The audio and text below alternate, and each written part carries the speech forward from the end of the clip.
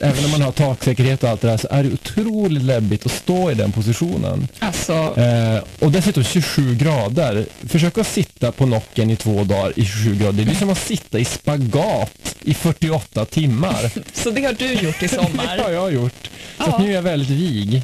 Jättekul för ja, dig. det är kul. Ja. Men du har ju också gjort en sak som du inte trodde du skulle göra. Du har ju styrt båt, Åh.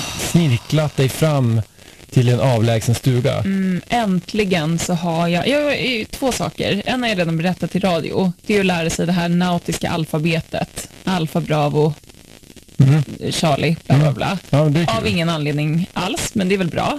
Kan dyka upp någon gång. Och sen har jag äntligen lärt mig vägen från vår, vår sommarstuga till Sandhamn Mm. och tillbaka.